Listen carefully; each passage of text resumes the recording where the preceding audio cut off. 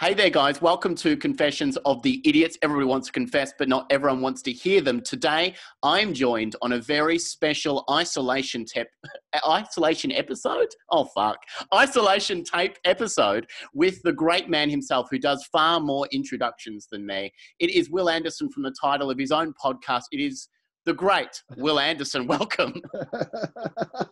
what an intro. Wilosophy with Wil Anderson.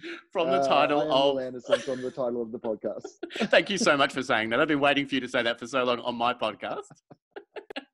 You know It what just the thing works so is, well. mate? That uh, it's one of those things that it's become an accidental catchphrase because it really just came out of the fact that um, I used to do the podcast and it was called Wilosophy, Yeah. just with Wil Anderson. Yeah, it Right. wasn't called Wilosophy with Wil Anderson.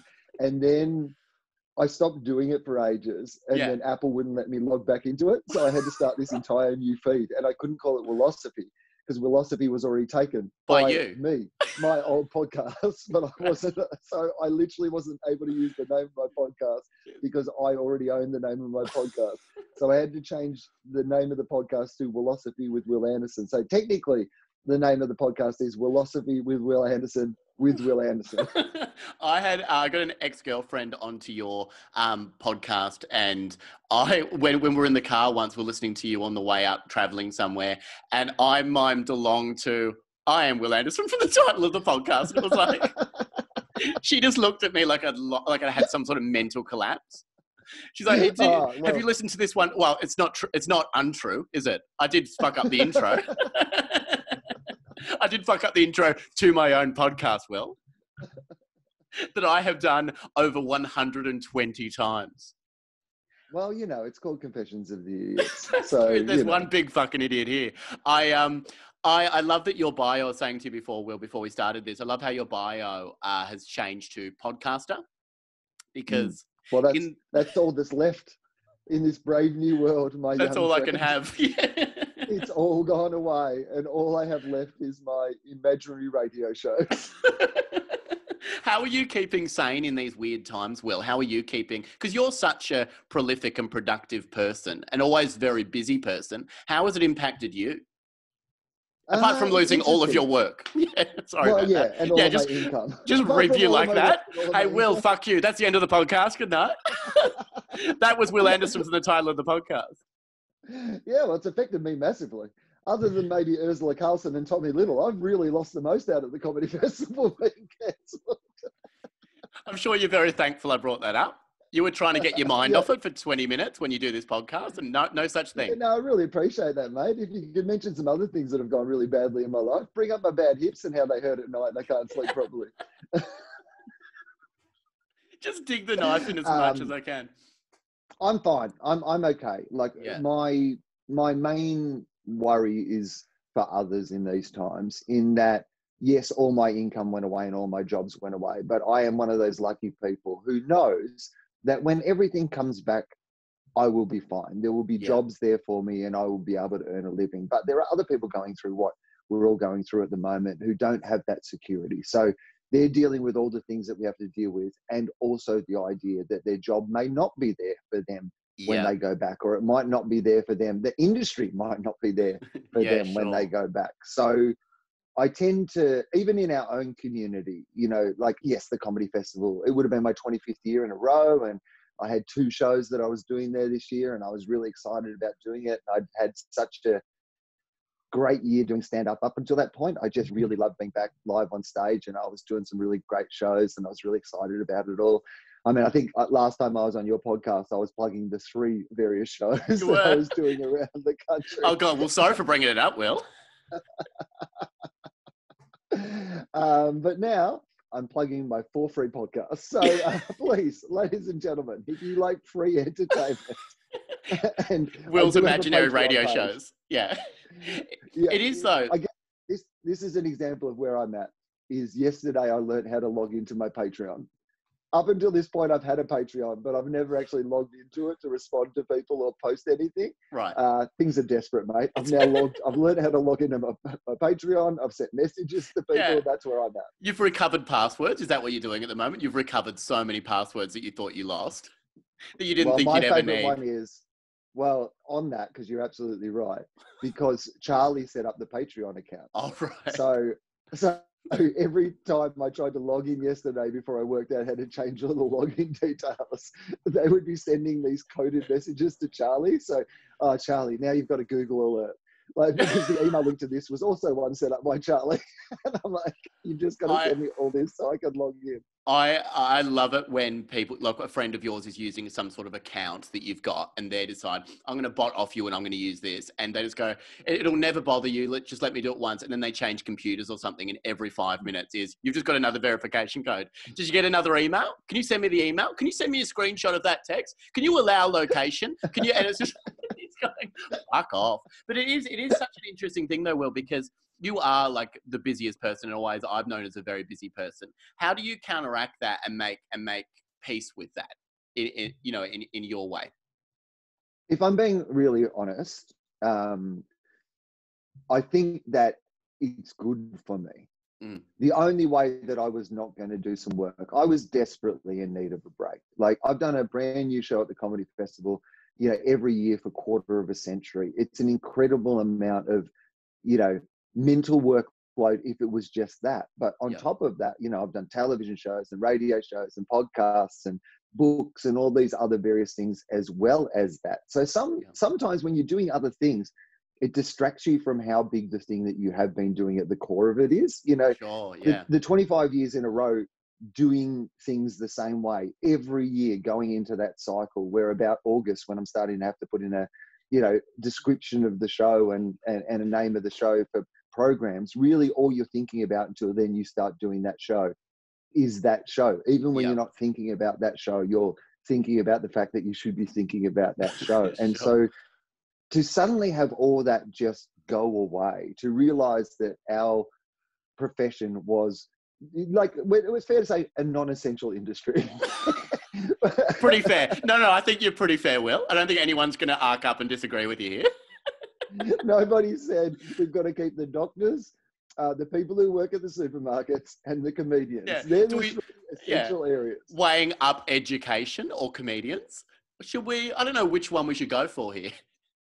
Yeah, so to it, it reminded me that what we do is actually incredibly fleeting, and that we are very lucky that it happens at all. So for it to be taken away in this period, I think it's been really good for me because it's forced me to slow down, Yeah. and I haven't tried to throw that energy, you know, into other things or fill the gap because I don't have gaps to fill. When everything comes back, I'm going to be busy again.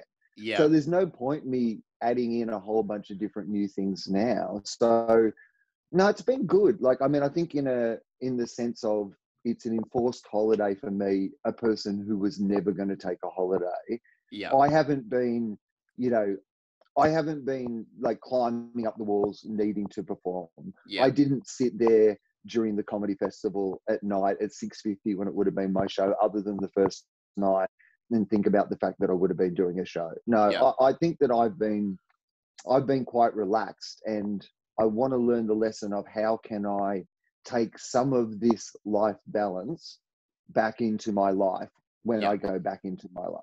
Yeah, I mean, and even a even an enforced holiday, even the way that you say that, it's like if you if you know that a holiday is coming, you can make plans.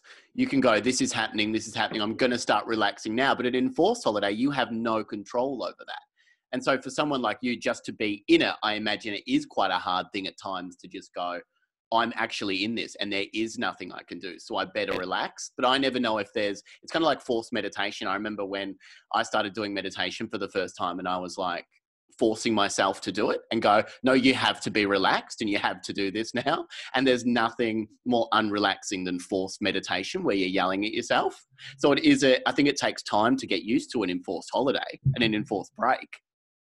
Well, I had the double advantage in a way because I was talking to you about this off air, but we moved house in Yeah. the middle of it. We were meant to be moving house after the comedy festival, and Yeah. uh, then of course that got cancelled, and so our plans to move house got moved forward, and then they almost got cancelled because of course it got to the point in the pandemic where we're not sure whether we were meant to or allowed to move house, and it turns out we were, and Mm. but we had to do it all in such a confined and safe way, you know, total social isolation, you know, Yeah. Under the cloak of darkness. hours.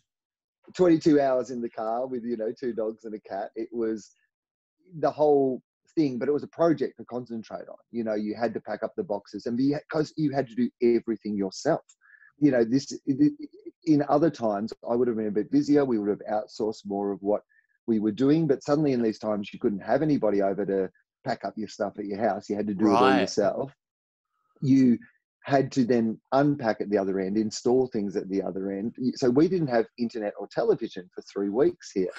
And again, just having that break from the constant update of the news and what was going on. So not only had I I had an enforced holiday from my work, but I also had an enforced holiday from the world a bit, from that yeah. daily grind of the 24 hour news cycle. And I think both of those things really added together to give me this overall relaxed feeling because I just wasn't caught up in yeah. constantly monitoring a situation that I could do nothing actually about.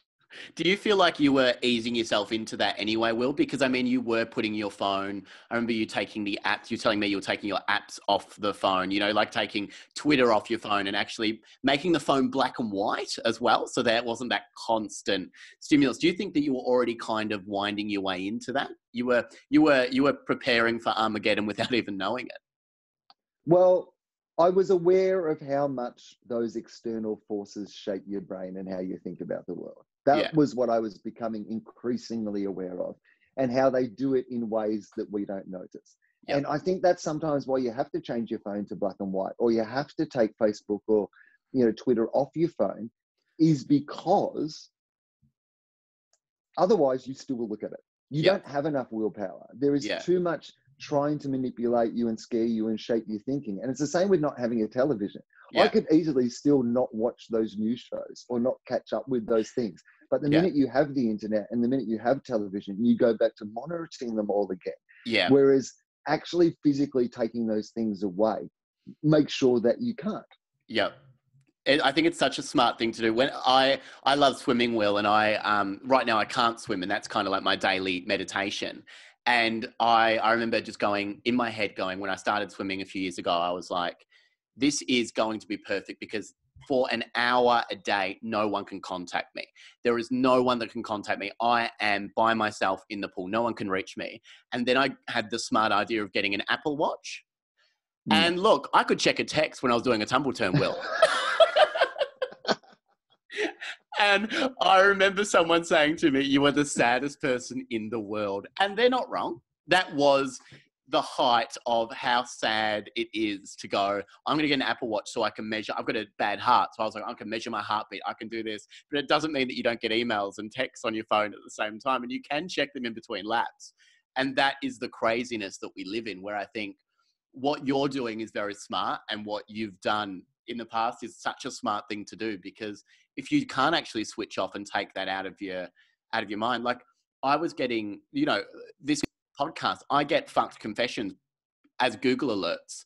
You know, I get, I get, you know, and so I'm looking at someone, and it's always like the ones I don't use. It's always like I had sex with my dad, and I'm like, oh god, and that's popping up. that's popping up while I'm with someone, and I'm going, oh no, and they're looking at me, and they're going, this isn't good. this is what he does with his spare time. These are the alerts that he wants. I, I, don't know why, but he's stopped in the slow lane to check an alert that says I had sex with my dad.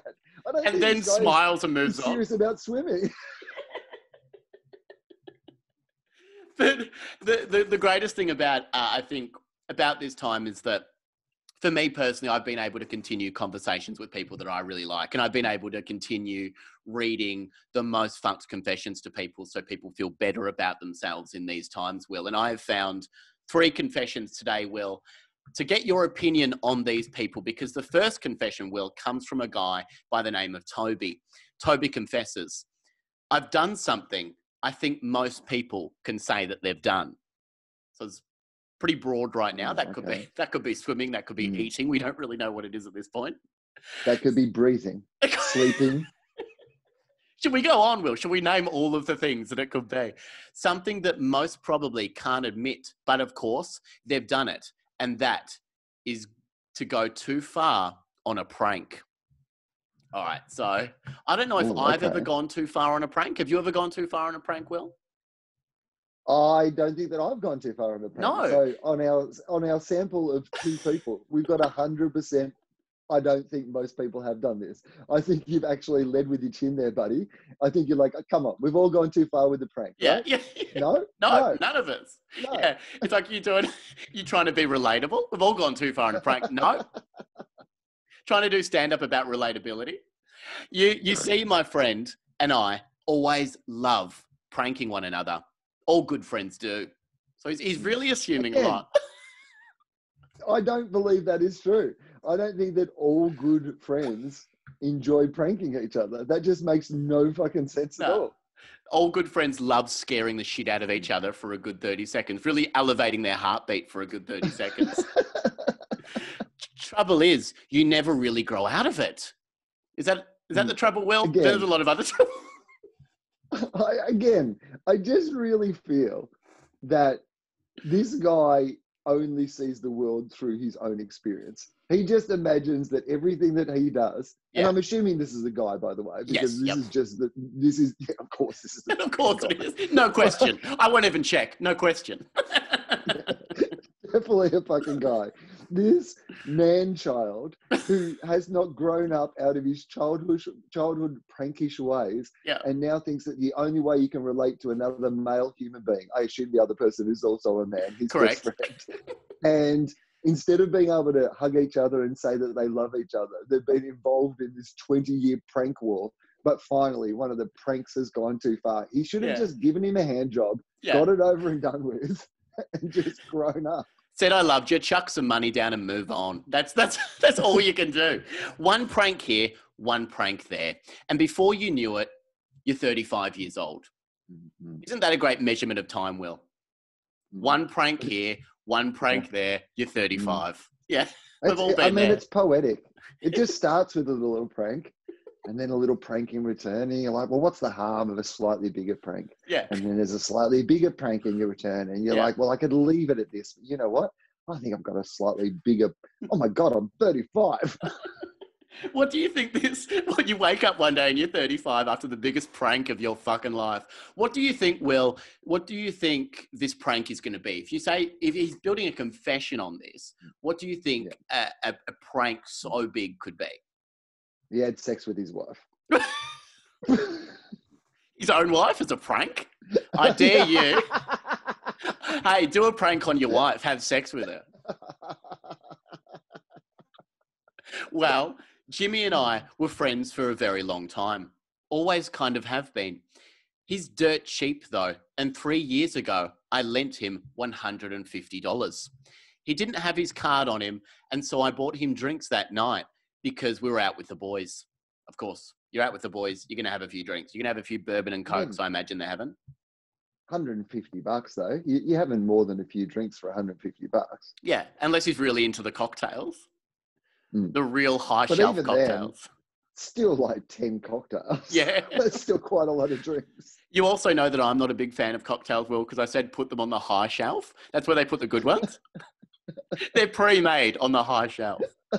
I imagine that's what happens with cocktails. I kept asking him to pay me back. I always went straight to Jimmy and said stuff like, pay me back. But Mm. he just didn't. That's a good way to know. There's no in and out with that, is there, Wil? That's the only way to know. What do you mean by that? You can't read into that. Pay me back. I don't know if he wants me to pay him back or not. I mean, it's direct. It's straight to the point. It's three words. It gets the message across. Three years went on, and it's like, it's me, Toby. But why the fuck don't you pay back a mate? He kept pushing it to the side and saying he didn't owe me any money. So I thought I'd get him back. Bear in mind that this was three years down the track and I'd literally run out of options. So, will you run out of options with your best mate, Jimmy? You've run out of options. You've said, hey, pay me back. And then you've also said, hey, it's me, Toby, pay me back. So, you've done that probably twice in the three years, I imagine. What do you do at that point? What would be your next option? If you want that 150 bucks, Wil, what, well, would, what would firstly, you do? I'm, I'm going to say you or I might have said it twice in three years, but I get the impression this guy's brought it up every time he and Toby have been. So no, he's Toby, isn't he? So Yeah. sorry, every time Toby. we've been together, yeah. he has brought this up. Pay me back. me Yeah. back pay. Like any way that he can say it, he has Yeah. been saying it. Anytime anything else comes up, he'd be like, "Oh, I saw my friend Bill. I Oh, speaking about bills, here's a bill to you that you need to pay back to me." And he just starts clapping, slow clapping, pay me back. like he would, he would, back. he would be the worst person to hang out says, with. Pay me back. Yeah, he spent two hundred dollars on fifty t-shirts that say "Pay me back." He's really in the red for this. So one night, when I knew Jimmy would be out walking, as is his wont, so he likes walking Mhm. well, I mugged him. I put a stocking over my head and full pranked him by holding out a knife and taking his wallet. Now, Wil, when I read this, I thought that's not a prank. no, you robbed him. How you know different- What, just, you don't let just say your crime is a prank. Like you, you, you put a mask on and got a knife and you robbed the guy. He was not going to give you the money, so you, like, this is some, you know, underbelly shit. This is some Melbourne underground mafia shit. A guy owes you 150 bucks. Like, you would have spent 150 bucks on the balaclava and knife, you cheap fucking motherfucker, just to rob your mate.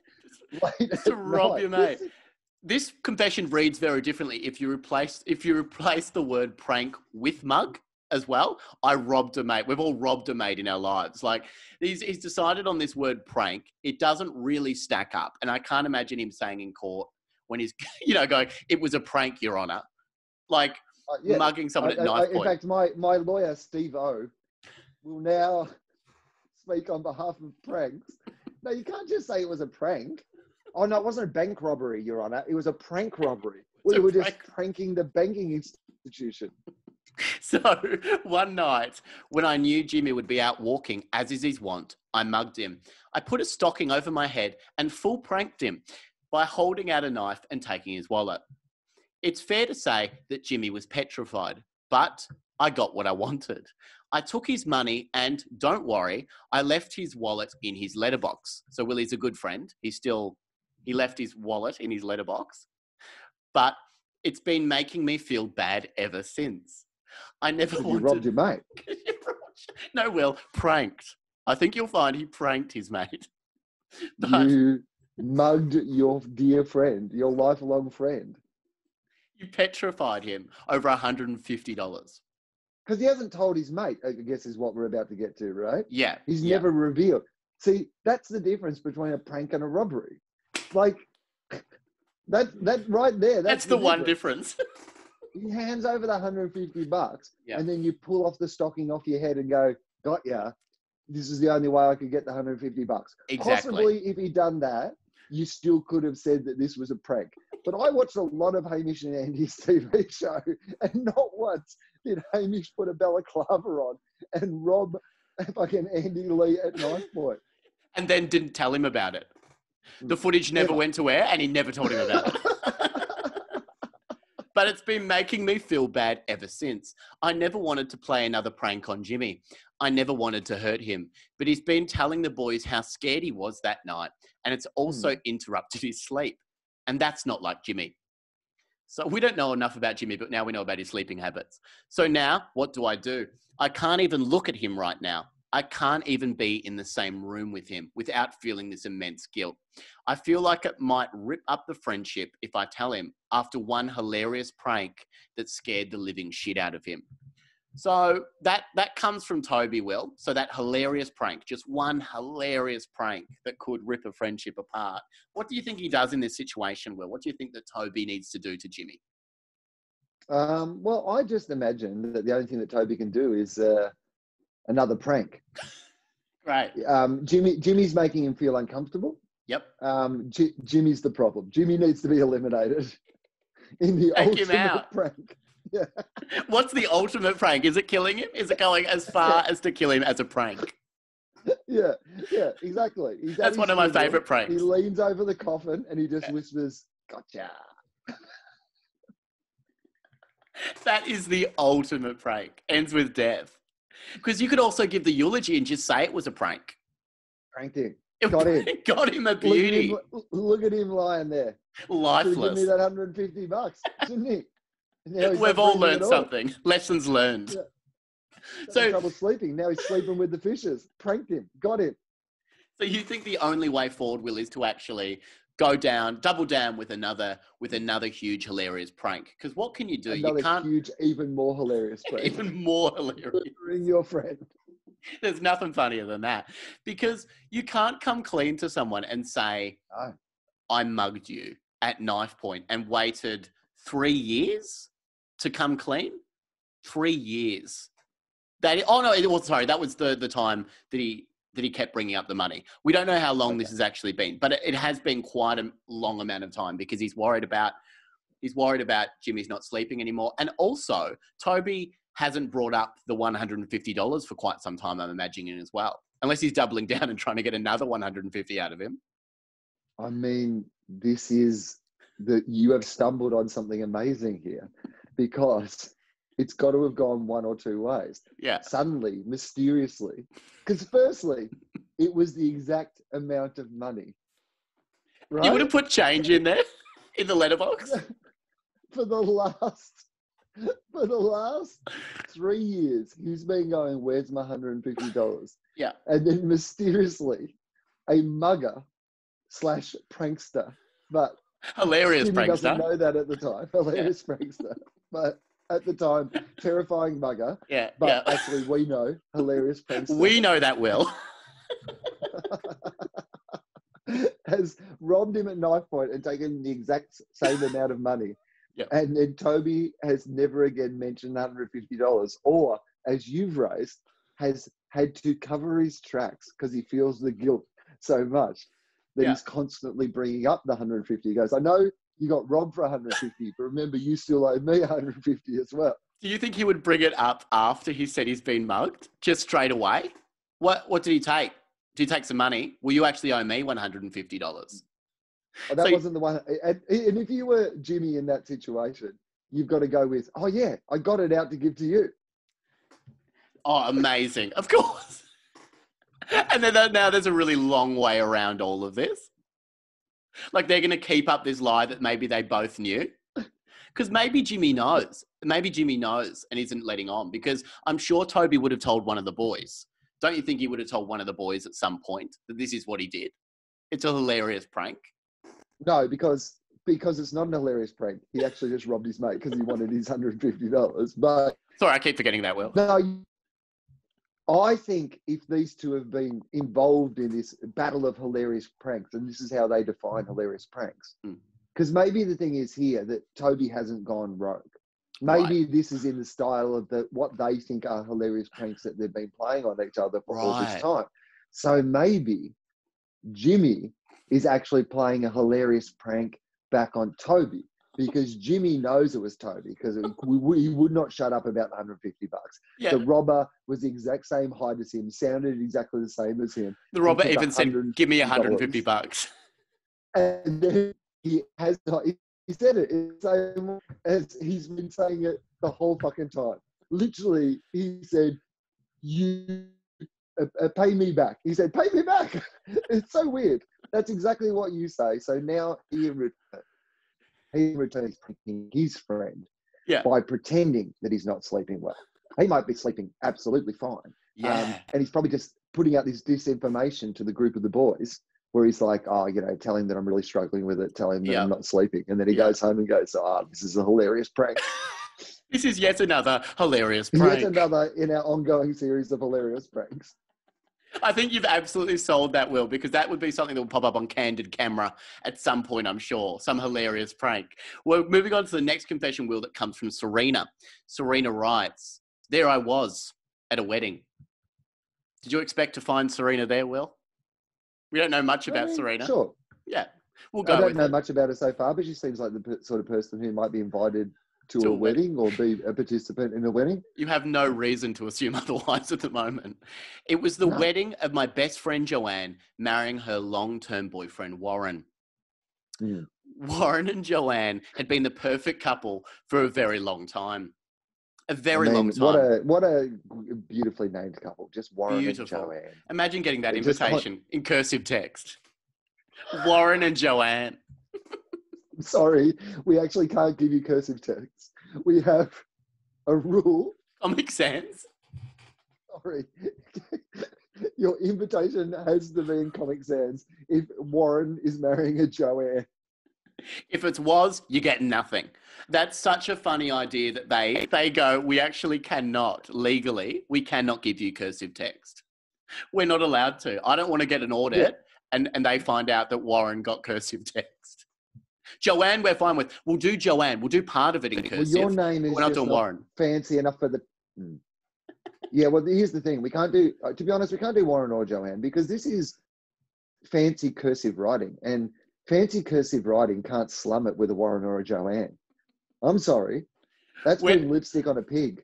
You know, fancy cursive writing has become fancy cursive writing because fancy cursive writing has standards. We're not going to lower the cursive text standards for you, Warren. Don't think that. Warren swept Joanne off her feet. I remember thinking at the time, who is this Warren guy coming into our lives? But we absolutely loved it after a while. Warren was the kind of guy who looked out for me in any trying time. I had my own relationship problems over the years, and Warren was always there. Of course, he was. That's the kind of guy you imagine Warren is. I also imagine Warren is the mm. kind of guy that would play hilarious pranks on his friends. Oh, absolutely. Warren's been involved in a 30 year prank war. In fact, I imagine whatever this scenario is will be involved in one of his hilarious pranks. One of his hilarious pranks. As the wedding day grew closer, and myself being the bridesmaid, everything was set to be low key. As low key as they come, really. They weren't going to be any speeches, just a ceremony where friends and family get together and Warren and Joanne might say a few words and sing a song. In brackets, it says, if we're lucky. So I think Warren and Joanne are sadly known as a couple that might sing a song at a wedding. Well, like, I don't know, sadly, because they said if we're lucky. Oh, you don't know if that's like. We don't know if it's, yeah, right? we don't know if we're lucky. Yeah, yeah, we don't know about that. Yeah. And a guy called Warren, I'm just not sure. I don't know how to feel about know. it. It's really I just hard. feel about like maybe Warren and Joanne, you know, just they harmonize very well together. They oh. sound oh. good together. They've got the perfect voices. Exactly. Now, did I mention that Warren is from the UK? That's what nope. she says. Nope. You did and not mention it. Also, Wil, what, what is great about these people as well is they don't go back and proofread. You could just do a little edit, maybe put that at the top. You can you can always look over your six sentences and say, did "Have I, I mentioned?" Did I mention that Warren is in the UK? Because I refuse to read back over what I've already written down. Not this horseshit.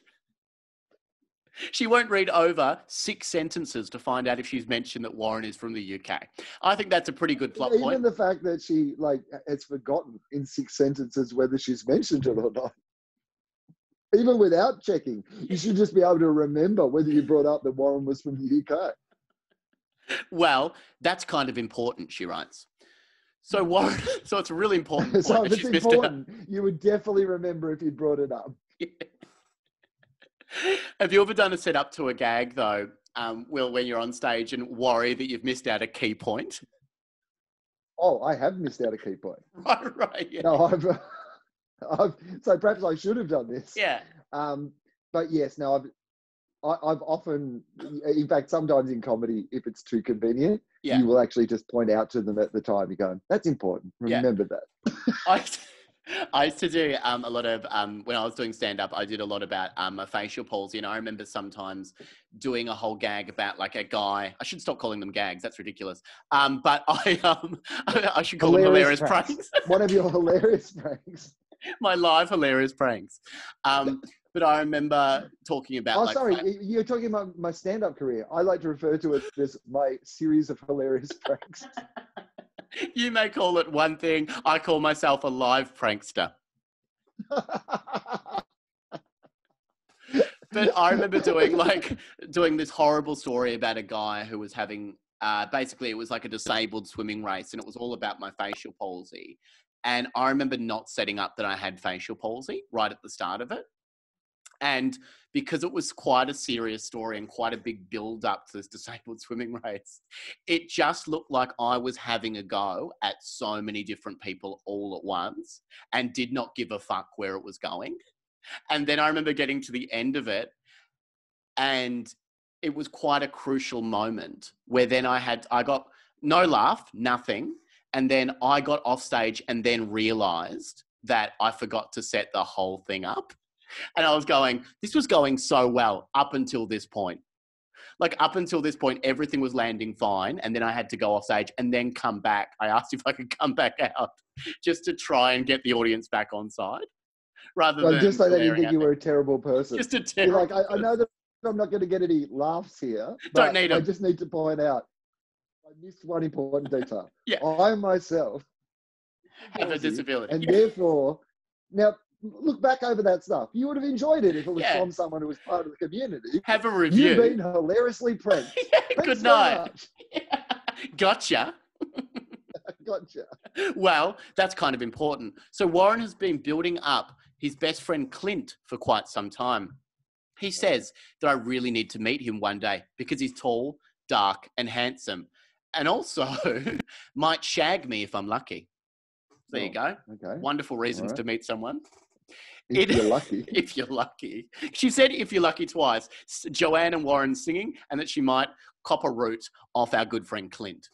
It had been quite some Yeah. time. Uh, I feel like most of the things that she's been told in life that happen to her only happen if she's lucky. if she's lucky.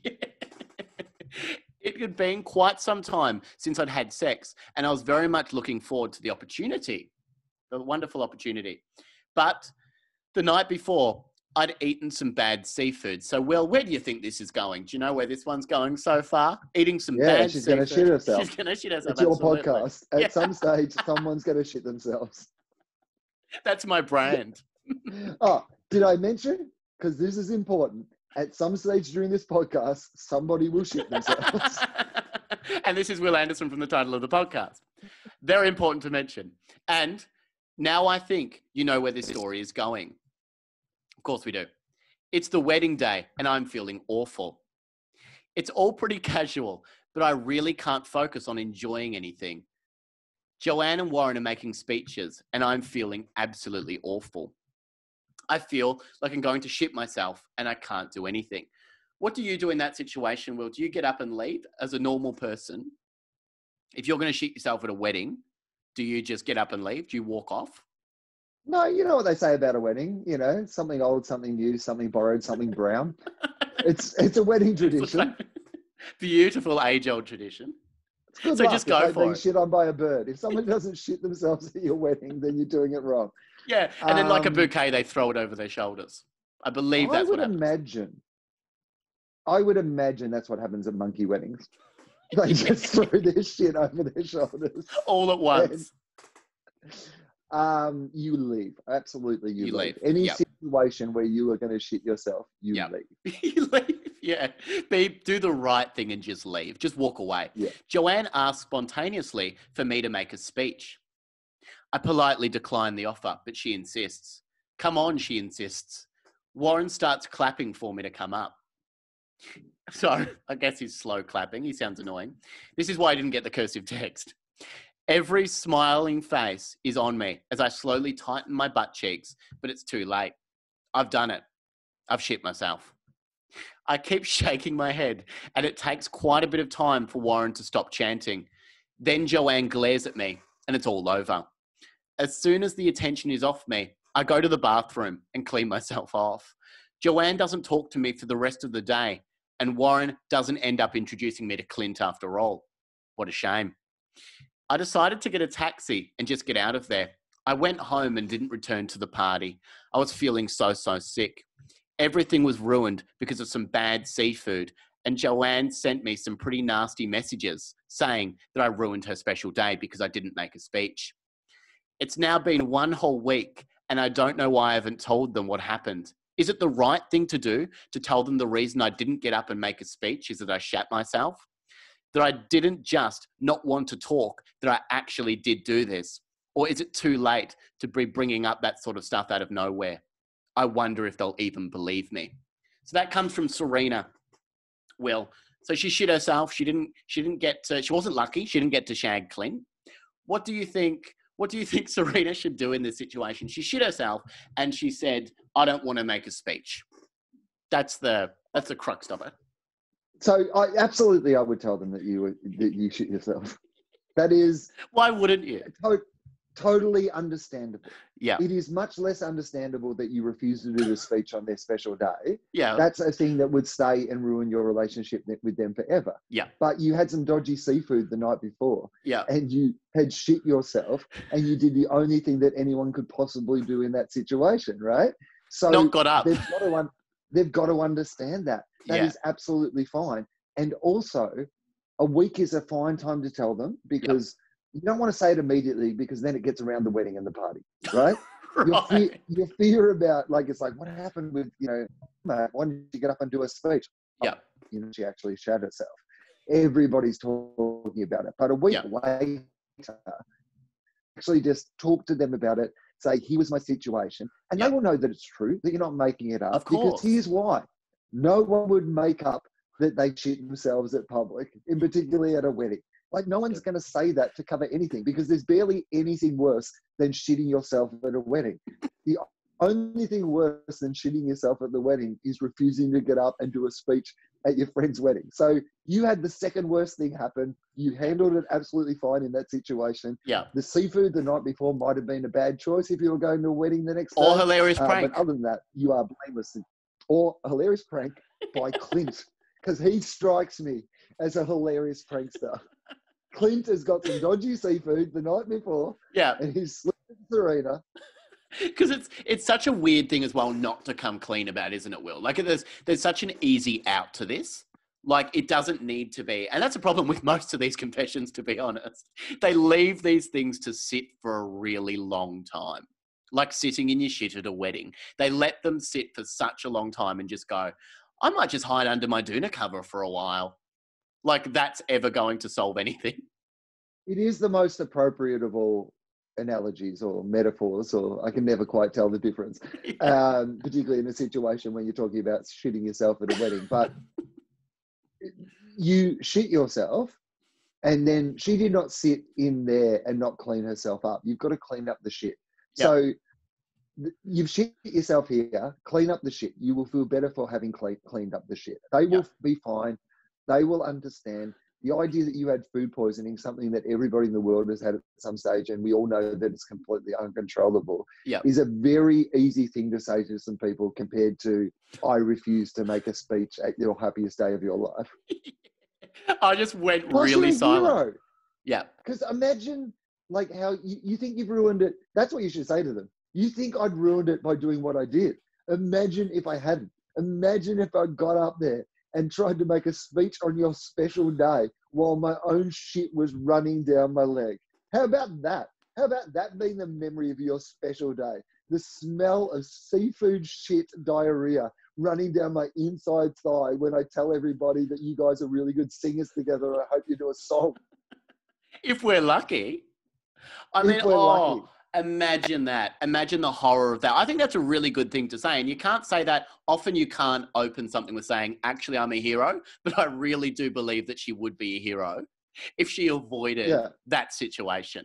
The butterfly effect. Yeah, you did exactly what you should do in that situation. Well, imagine all the photos, all the group photos after you've had the bridesmaid shit herself and still going ahead with all the photos, still going ahead with the rest of the day like nothing's a problem. Grandpa, I'm looking at your wedding photos. Why why are everybody's faces screwed up in such a horrified look? Why is mummy covering her face? Well, Wil, we've got one more confession that we're going to get through, and this one comes from Anthony. Anthony confesses, I kissed the wrong person. Absolutely the wrong person. How do I know? Well, I knew them. I love how do I know? Like, how do I know that I kissed them? Or, or how do I know? How do I know that I knew them? I don't know what that meant.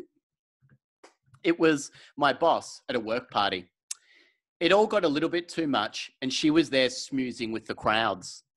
I'm, I'm sorry, it is schmoozing, I'm pretty sure, but for some reason I went smoozing, smoozing. I prefer to call it that.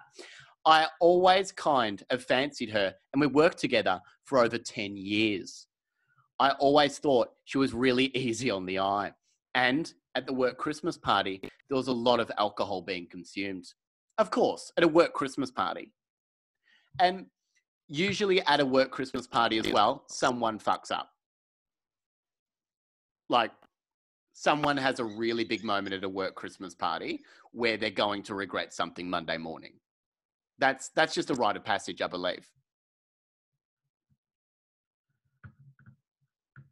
Yeah, I, I I'm gonna say I believe also because I was trying to think about it when you were talking, and I don't think I've ever been to a work Christmas party. Yeah, it'd be a very small function if it was just you. Yeah, well, I'm a sole trader. The, the Wil Anderson Christmas party. party. Hi, I'm Wil Anderson from the title of this party. Just you by yourself, and you still have a lot of regrets Monday morning. I've I did a lot of a couple shit. of job jobs over the Yeah. years, like the radio stations and those sort of things tend to have work Christmas parties, but I don't think I ever went to any of them. So Right. I don't think I've literally ever been. So I am in uncharted territory. Everything that I'm going to speculate upon about work Yeah. Christmas parties, I've mostly got from popular culture, and Right. popular culture is not always hilarious. I imagine people copying their ass and Yeah. hooking up with their boss. That's what Yeah. you imagine the work Christmas party is. You just reading up in your spare time about work Christmas parties, like really wanting to understand them. What is a work Christmas party? Now. I'm a married man, and so is she. We knew when we signed that paper. She's a married man. She's a married man too. You know that. You know she's a married man. He doesn't need to go on and explain himself. We we knew when we signed the paper that there was no cheating involved. You know that when you're getting married and that you're not meant to be kissing other people. Do you think that's a big part of being married, Wil? Is that one of the rules, do you think, of getting married? Well, I mean, for a lot of people, it is. Yeah. I would not like to define the nature of, course. people's relationships. And Yeah. a lot of people are in, you know, open versions of relationships. Some of them don't know that they're in open versions of relationships, but you look at the statistics on, you know, couples who are together exclusively for life as opposed to couples who are together and Yeah. some point in their lives have, you know, kissed the boss at a Christmas party. And I don't think that he's all alone in this scenario. No, no. I think I think there are a lot of people maybe that have kissed this boss at this Christmas party. That's kind of the whole point of the thing. So he says the whole point of getting married is that you don't kiss other people. But and that is absolutely fine for that to be your definition of marriage also. yeah, if you want it to be that, that's fine. But Yeah. after a few too many rums, I make it her from the dance floor and we start kissing. Kissing and kissing. Kissing and kissing. Isn't he so descriptive, Wil? Isn't he a beautiful writer? Kissing and kissing, kissing and kissing. She tells me that we need to go into the bathroom. And I think it's a terrible idea. But of course, the rum gets the better of me. We make our way into the public toilet, and within minutes, I'm thrusting my heart out. Thrust and thrust. It's beautiful. Thrust and thrust. Thrust and Thrusting and thrusting. So you've got kissing and kissing and thrusting and thrusting. I tell her that I really need to go as soon as it's all over.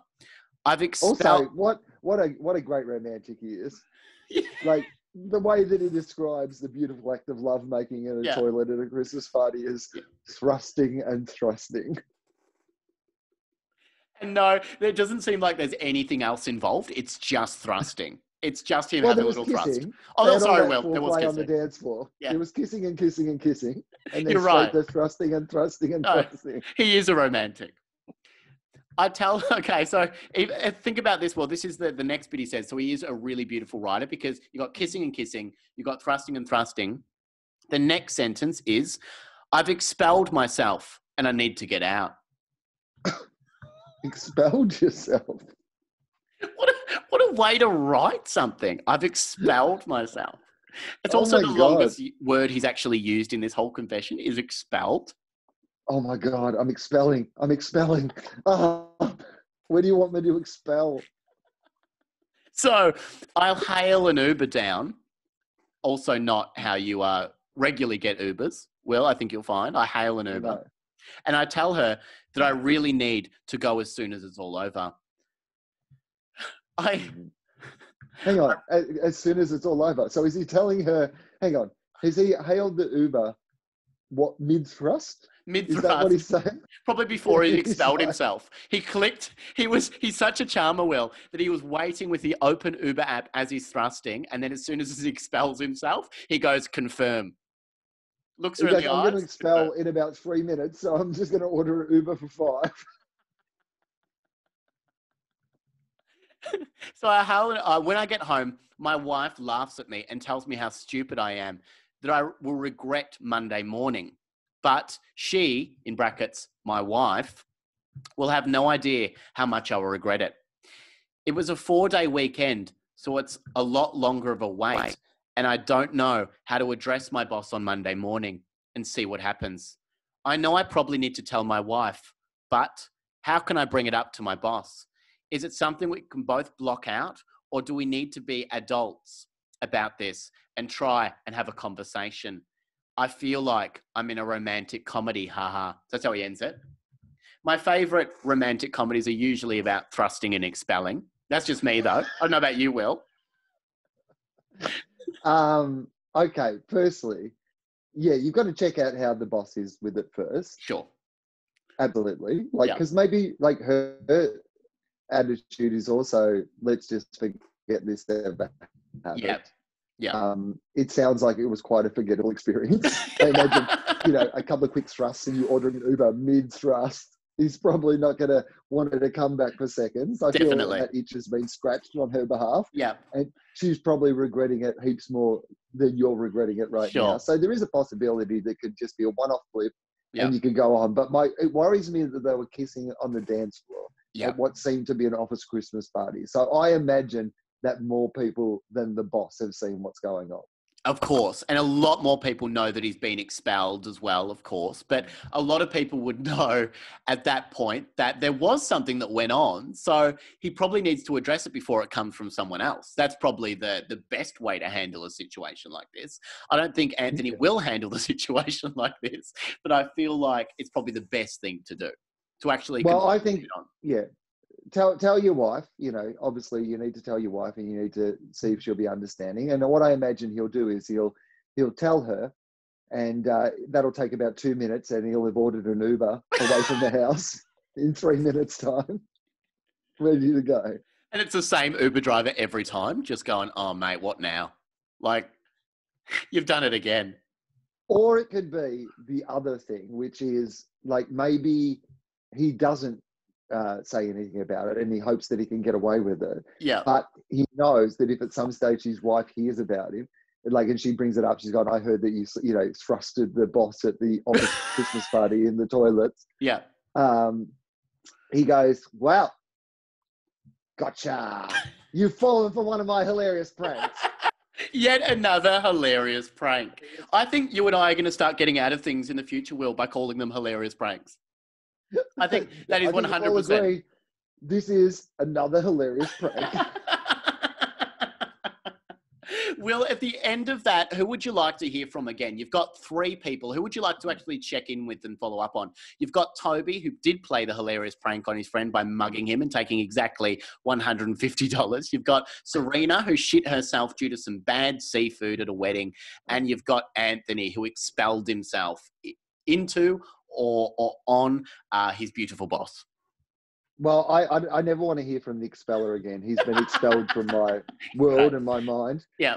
I would like some updates on the other hilarious pranks that Toby has got up to in his time. Great. Uh, but I no, most of all, I want to hear from Serena because I want Serena just to come clean. I know, Yep. excuse the the horrible pun there, but I would like her to come clean and make peace Yeah. Uh, with uh, Warren and Joanne, and Yeah. uh, you know, um, Maybe have that Maybe second chance with. Clint. Yeah, maybe avoid Wow. the seafood. Yeah. Well, Wil Anderson, at the end of that, people know how to find you. They know how to find you on on Twitter. How do they get onto your Patreon page if they are in a position to support your three podcasts at the moment? Or are you doing the AFL as well? fact. Four. So we're doing uh, Tofop and Fofop. Yep. So Fofop's back. My very occasional podcast is now back in a weekly roster because that's what you do when you're unemployed. So Yeah. Tofop and Fofop that are both uh, going towards 300 episodes each. Wow. Um, yeah, both of those will clock over 300 in the next month or two, yeah. uh, which is pretty amazing. And then there is Wilosophy, uh, and that's patreon.com slash Wilosophy, W-I-L-O-S-O-P-H-Y. And at the moment, I am going back through previous guests on the podcast and doing a little, you know, post-corona update on you know, Yeah. how they're handling it or what their perspective on life is and how it may have changed and how they think it might change the world. So they've been really fun episodes, and there will be a new episode of Two Guys One Cup, our AFL podcast, despite the fact that the AFL season has not been on. That podcast is still coming out semi regularly. Great. The AFL won't stop that podcast. Well, it really, it really has much to do with the podcast, even when the season's on. We, we barely missed a beat, to be honest. Yeah. well, Wil Anderson, thank you so much for joining me on Confessions of the Idiots. I hope that you'll come back sometime soon. My pleasure, mate.